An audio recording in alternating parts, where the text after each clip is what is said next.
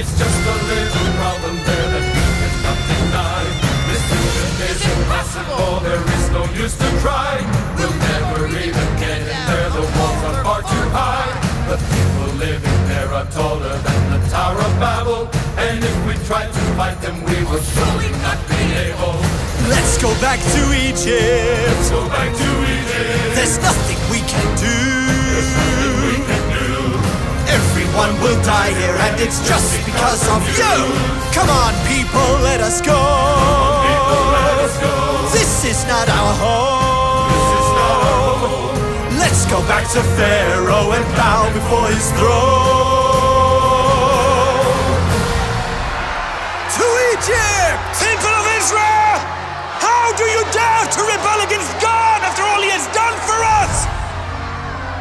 Forgotten how He delivered us from the hands of Pharaoh with mighty signs and wonders? Have you forgotten how He walked us through the sea on dry land and how He destroyed the armies of Egypt? This land of Canaan is the land God promised us, and we have been dreaming about it all our lives. So what if the walls are tall and the people strong? If God is with us, who can be against us? If us, there's no power in the world that can defeat us. If God's with us, we're gonna find a way to get into that place. If God's with us, no matter how impossible it seems, I know we're gonna get the victory. For God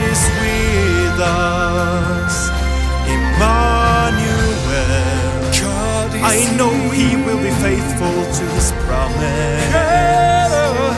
Emmanuel will never lead us back to slavery. Emmanuel has chosen us forever to be free. He gave to us this land eternally. For God is with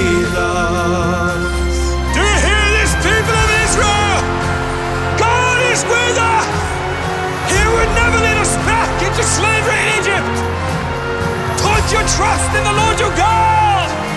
Let us conquer this land of promise. God is here.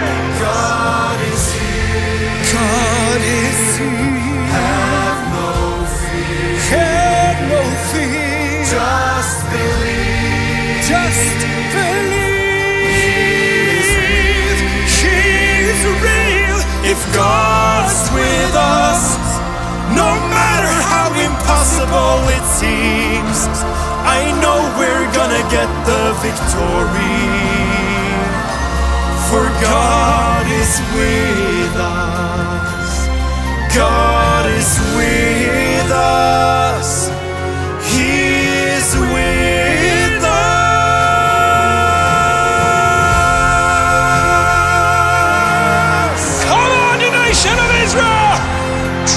in the Lord your God!